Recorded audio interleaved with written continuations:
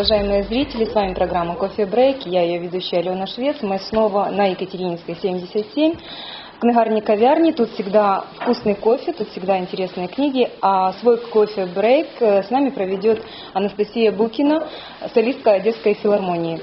Здравствуйте. Здравствуйте. Я хочу сказать, что наше первое знакомство с Настей произошло год назад во время презентации ее первой э, песни под названием «Why». Настя, напомните, пожалуйста, о чем эта песня, и насколько мне было известно, буквально в первые дни там чуть ли не взорвался интернет, 5000 просмотров, там первый, второй день. Да, это было приятно, конечно, но тут э, заслуга не наша, а на самом деле песня это больше эмоция, которая была вот э, настолько выстрадана и выплакана многими людьми, скажем так. Это песня посвящения памяти всем погибшим в войне с 2014 года, и там написано троеточие, скажем так. Скажите, пожалуйста, с того периода изменилось ли ваше отношение к ситуации, которая на востоке Украины происходит? И вообще в целом в Украине?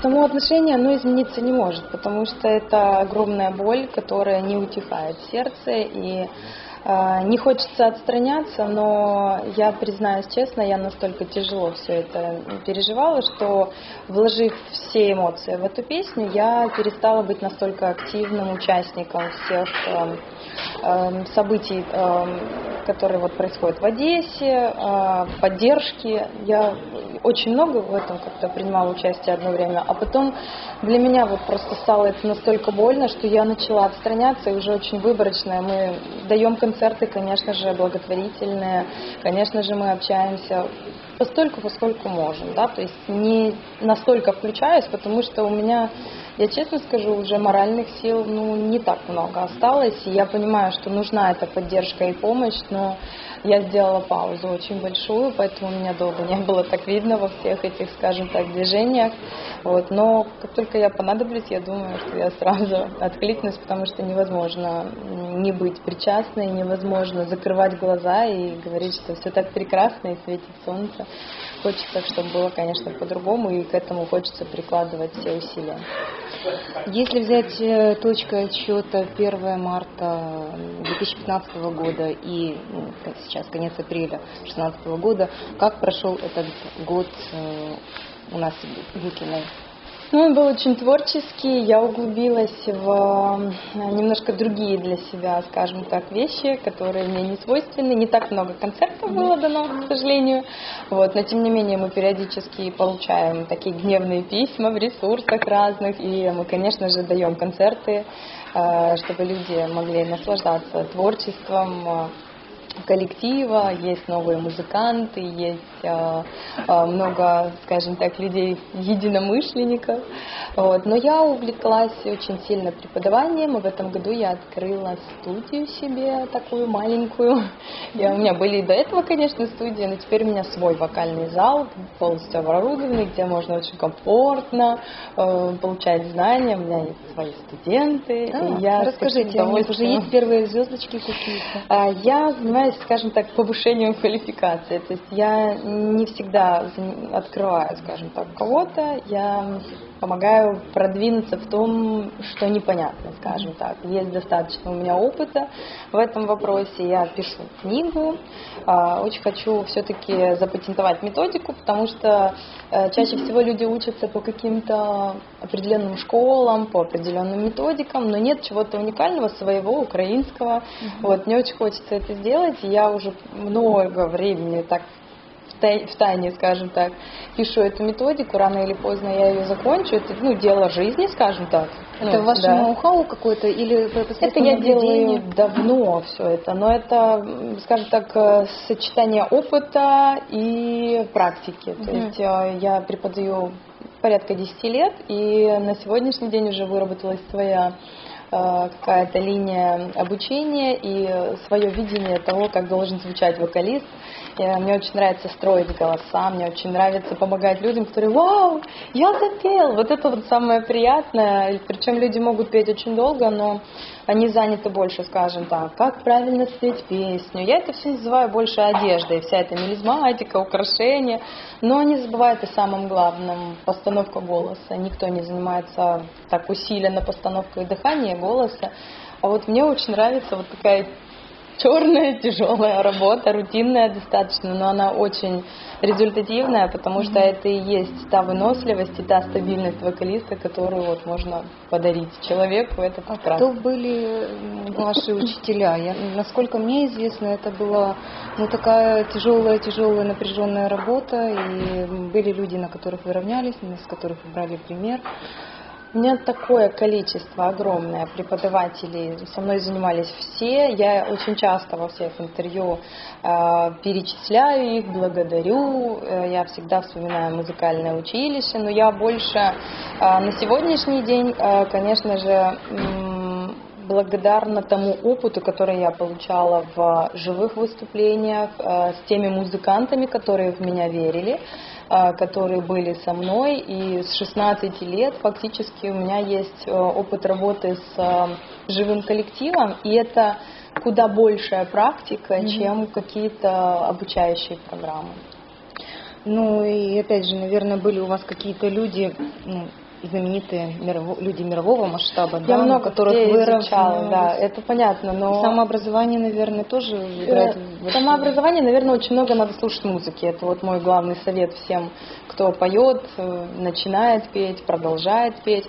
Музыки я слышала огромное количество просто, причем, ну, джаз, я всегда болела джазом, поэтому это столько было джазовой музыки, что э, в голове уже на сегодня столько перемешалось, что не всегда можно быстро отобрать вспоминать какие-то mm-hmm. воспоминания. Вот. Но э, помимо... Я никогда особо там не равнялась на каких-то кумиров, или там вот я хочу петь как Рэйчел Феррелл. Ну, не было такого. Просто я брала и пробовала, и mm-hmm. делала.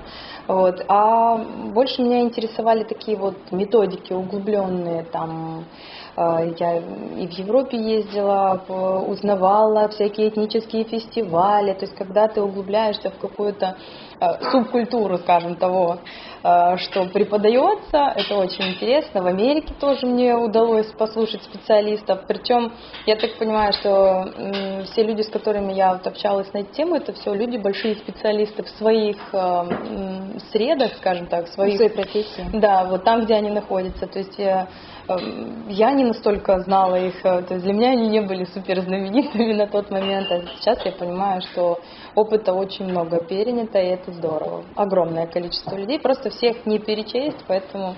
А так вот кумиров, на кого равнялась, ну, нет, очень люблю музыку, вот и все. В любом ее количестве. Ну, я хочу сказать нашим зрителям о том, что мы общаемся с Настей в канун всемирного джаза. Эм, слово джаз, э, насколько я знаю, было упомянуто где-то в 1912 году, в апреле, 2 апреля, 3. А праздновать его начали только спустя 100 лет. И Анастасию Букину, как в Украине, в Украине, так и в мире, больше знают как джазовую исполнительницу, как исполнительницу соул-музыки, да, я правильно говорю? Да, правильно, абсолютно. Вот. Э, и в одном из э, наших интервью вы как-то сказали, что все-таки в Одессе больше джаз исполнял не Утесов, как одесситы его не, не любят, да, а все-таки э, джаз э, расцвел э, где-то примерно лет 20-20 там с хвостиком небольшим назад. Да, и... мы это как раз обсуждали год назад, да. если я не ошибаюсь, и просто принято считать, что Утесов был первый, кто, скажем так, подарил вот это вот звучание оркестра, состава. И я думаю, несправедливо говорить, что не он, скажем так, ну, начал да. всю эту историю. А, джаз был и 40 лет назад, потому что скажем так, это не совсем джаз в Одессе, да, это джаз а, общий советский, да, Советского Союза. И эти прекрасные исполнители до сих пор э, творят фантастическую совершенно музыку.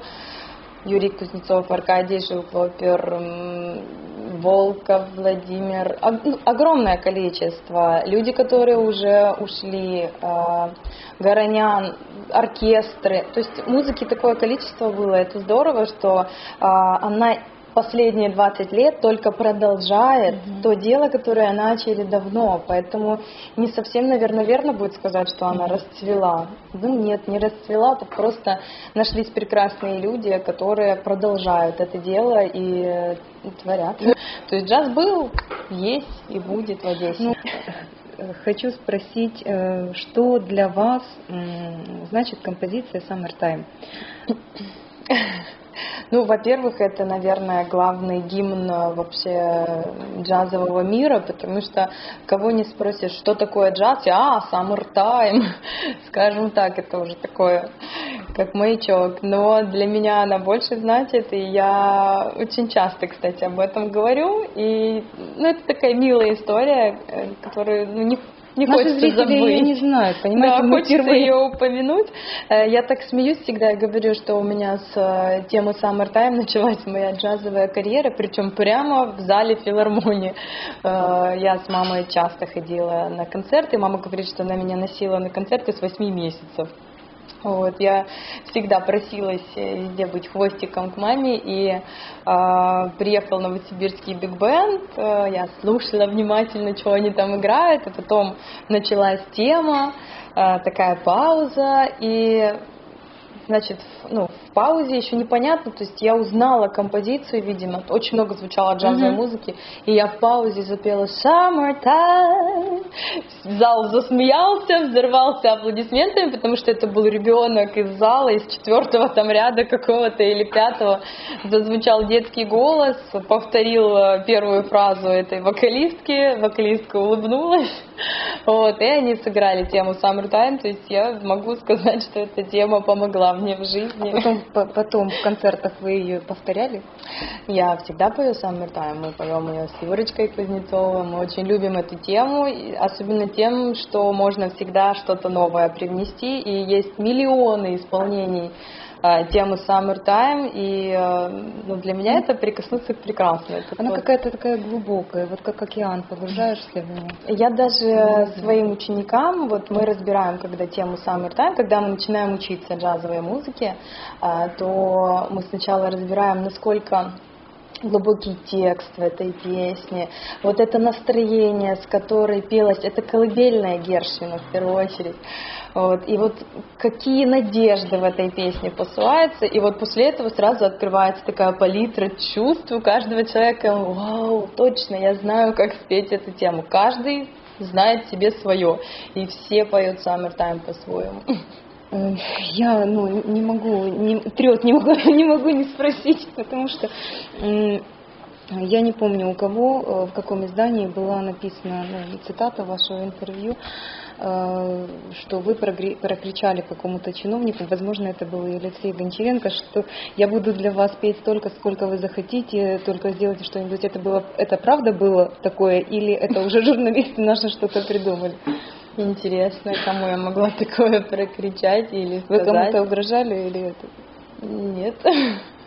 Угроз петь столько, сколько угодно у меня не было никогда. Все знают, что я отзывчивый человек, и всем э, я спою, независимо от того, помогал мне кто-то или нет. Если нужно мое творчество, я всегда им делюсь. И, в принципе, редко бывают случаи, я не знаю, есть ли люди, которые могут сказать, что мы от, отказали кому-то там, mm-hmm. в, будь то благотворительный концерт или еще что-то. Но так, чтобы я...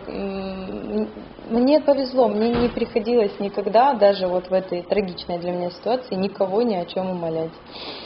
Мне все, действительно, мне помогли люди, и я рада, что они просто были на моем пути, вот и все. А так, чтобы ну нет. Я о том, что благотворительность, она должна быть, как мне кажется, достаточно личным чем-то. И э, очень много людей, которые мне помогали, они посчитали нужным остаться совершенно инкогнито. И как бы я не хотела периодически озвучить, сколько людей, мне даже наоборот в то время звонили и говорили, не надо. И вот мне кажется, что вот такой должна быть благотворительность, когда хочется чем-то помочь, э, ну, мне кажется, нужно это оставить в тайне и не делать из этого большой пиар. И я никогда бы не стала кого-то там, кто мне действительно помог, э, против его воли там пытаться петь дифирамбы. Это уже не имеет значения. Человек помогает тогда, когда он может и хочет это сделать. А уже а, как отблагодарить, это уже дело совершенно ну, другое, и я думаю, что за благотворительность отблагодарят совершенно другие силы. Кстати, э, ну, не так давно назад на этом месте мы общались э, с продюсером Александром Гутмахером, и тоже был вопрос э, о благотворительности, и он привел пример какой-то восточной мудрости о том, что, по-моему, в Японии говорят, что делай добро и бросай его в воду. Кому оно приплывет, тот в нем и нуждается. Тебе уже не важно, вот это ты, очень ты, мудро. Ты, ты, ты, это очень мудро. Мне тоже так кажется. То есть это такие вещи очень э, э, сугубо личные, и, по-моему, распространяться о них просто некорректно. Это прекрасно. Ну, благотворительность это э, благо, заниматься благотворительностью для артиста это в принципе мировая практика. Многие э, помогают э, каждый э, в своей э, отрасли, выбирая для себя какую-то да, нишу. И, и насколько важно каждому артисту заниматься благотворительностью, или все же он должен созреть Э, мне очень жаль, когда коллеги делают это ради какого-то пиара. Очень часто бывают какие-то акции благотворительные, очень громкие, от которых я последнее время начала отказываться. Э, как-то вот, ну, деликатно пытаться не участвовать. Потому что если это будет какая-то очень шумная помощь, то мне не кажется, что в это, ну, с одной стороны, это привлечение внимания общественности к какой-то конкретной проблеме, но очень часто осуждают в пиаре ради такого, и так как я ну, все-таки часто причастна к подобным концертам и к подобному э, вот, мероприятиям, то я стараюсь вот максимально из этого не делать какой-то ну, шумихи. И если есть возможность, чтобы это все не снимали, э, чтобы это не рассказывали потом об этом, какие молодцы артисты. То есть это не то, что нужно созреть, это зов каждого. Э, но я считаю, что такие вот концерты или вот э, куда-то, не знаю, походы, что-то делание, скажем так, артиста, да, э, это привлечение внимания общественности к той или иной проблеме. И по-другому донести мне сложно, а артист это, скажем так, голос, да, того тихого горя, которое где-то произошло. И вот чтобы как-то его донести и как-то озвучить, конечно же, артисты могут очень серьезно в этом помогать, но только не делая из этого какой-то супер пиар. Ну, как мне кажется. Э, насколько мне известно, в середине мая у вас день рождения. Да. Вот. Э, я думаю, что наша программа выйдет э, как раз в канун вашего дня рождения.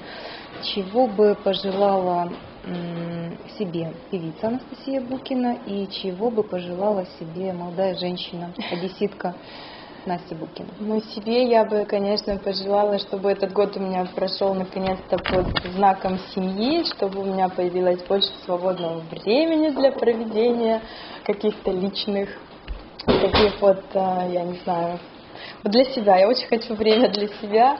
А, я не могу сказать, что я устала от какого-то количества концертов. Я от этого никогда не устану, но мне очень хочется а, почувствовать себя женщиной. Все-таки уже я уже такая молодая, но взрослая. Вот. Поэтому хочется уже немножко других радостей, и э, я созрела больше к какому-то семейному, скажем так, семейной реализации, нежели к каким-то концертам. Концерты, конечно же, будут. Мы не будем сокращать количество концертов и мероприятий. Всем, кому нужна наша помощь, мы обязательно отзовемся, но э, очень хочется, чтобы появилось время для себя и для семьи. Ну, такое себе пожелание. Спасибо, Настя, что провели свой кофе-брейк вместе с нами. Я напомню, у нас в гостях была певица, композитор, э, солистка Одесской филармонии Анастасия Букина. Э, мы были в книгарне кавярни на Екатерининской 77. Здесь всегда очень вкусный кофе и самые интересные книжные новинки. А если вас заинтересовала тема, а, которую мы сегодня обсуждали, о джазе, о благотворительности, о жизни об так заходите к нам на сайт, оставляйте свои комментарии. Даже если вам что-то не понравилось, обязательно оставляйте свои комментарии, звоните в редакцию Одесса Life Audio. Кофе брейк. Всего доброго.